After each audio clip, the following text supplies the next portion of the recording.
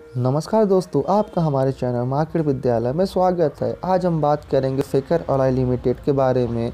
यह बहुत ही छोटी कंपनी है। अगर हम इस कंपनी की बात करें तो इस कंपनी का जो पिछला रिकॉर्ड है और जो आपका रिकॉर्ड उसमें सुधार होता हुआ नज़र आ रहा है। यह कंपनी लॉस से प्रॉफिट में आ रही है। यह कंपनी का पिछले चार साल का डेटा देखें तो पिछले दो साल में यह कंपनी प्रॉफिट में आ गई है। हम इस बारे में आगे चर्चा करेंगे। उससे पहले अगर आप हमारे चैनल में नए हैं तो हमारे चैनल को ज़रूर ज़रूर सब्सक्राइब कीजिए।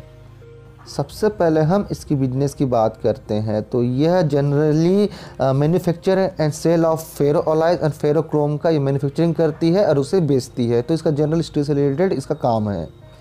अगर हम इस कंपनी की मार्केट कैप की बात करें तो इसका मार्केट कैप 60 करोड़ के ऊपर का है। करंट प्राइस तीन रुपये के आसपास चल रहा है। अगर इसकी बावन बिक हाई लो की बात करें तो इसका बावन बिक लो एक रुपये का है और है और इसका बावन बिक हाई तीन रुपये इक्यासी पैसे का है और इसका फेस वैल्यू एक रुपये का है। मैं इस कंपनी की कुछ पॉजिटिव बात बताऊँगा। उससे पहले मैं हर पेनी स्टॉक के बारे में आपको एक चीज़ बताता हूँ कि आप पेनी स्टॉक में जब भी इन्वेस्ट करते हैं तो जोश में आके बहुत ही बड़ा अमाउंट निवेश ना करें कि कई लोग होता है एक लाख, दो लाख, तीन लाख ऐसा इन्वेस्ट करते हैं, जो कि पेनी स्टॉक के हिसाब से गलत होता है। अगर आपको ऐसी कंपनी में इन्वेस्ट करना है तो दो सौ, तीन सौ, पाँच सौ, एक हज़ार, दो हज़ार ऐसे निवेश करना चाहिए। कल के दिन अगर ऐसी कंपनी को कुछ हो भी जाता है तो आपको ज़्यादा आर्थिक नुकसान ना झेलना पड़े। दोस्तों, यह कंपनी पहले लॉस मेकिंग कंपनी थी। पहले इसका जो एनुअली रिज़ल्ट आता था एनुअली जो इसका प्रॉफिट लॉस होता था, वो माइनस में रहता था। लेकिन अब यह कंपनी लॉस से प्रॉफिट मेकिंग की ओर बढ़ चुकी है, जो कि पॉजिटिव साइन है। 2016 में इसे तेईस करोड़ का लॉस हुआ था। 2017 में इसे नो प्रॉफिट नो लॉस में थे। लेकिन 2018 से इसका ट्रेंड चेंज हो चुका है। 2018 में इसे एक करोड़ का प्रॉफिट हुआ। 2019 में इसे 15 करोड़ का प्रॉफिट हुआ। और 2020 में इसका 12 करोड़ का प्रॉफिट हुआ था। तो आप अपने स्क्रीन में देख रहे हैं कि इसका जो लॉस से प्रॉफिट मेकिंग की ओर अग्रसर हो चुका है, जो कि बहुत ही पॉजिटिव फैक्टर है, बहुत ही पॉजिटिव साइन है इस कंपनी के पॉइंट ऑफ़ व्यू से। इस कंपनी का आप सेल्स ग्रोथ देखिए, पिछले पाँच साल में 136 परसेंट का सेल्स ग्रोथ है और तीन साल में 30 परसेंट का सेल्स ग्रोथ है। तो देखिए सर सेल्स ग्रोथ भी एक अच्छा लेवल में मेंटेन है तो यहाँ पे आप इसके लिए भी पॉजिटिव संकेत मान सकते हैं।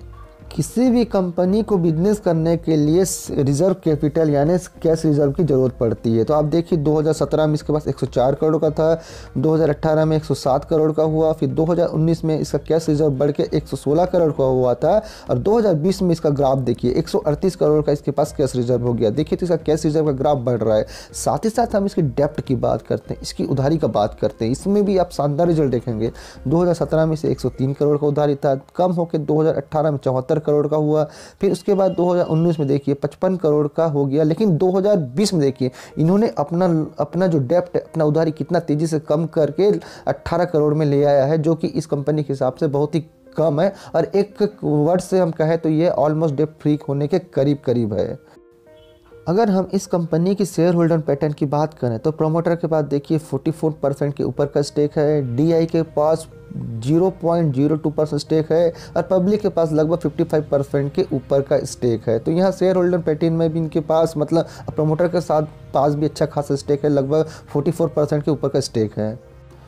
दोस्तों इस कंपनी का मेरा पर्सनल ओपिनियन यह है कि आप इस कंपनी को अपने पोर्टफोलियो में थोड़ा सा जगह दीजिए मतलब 200, 500, 400 शेयर ऐसा दीजिए।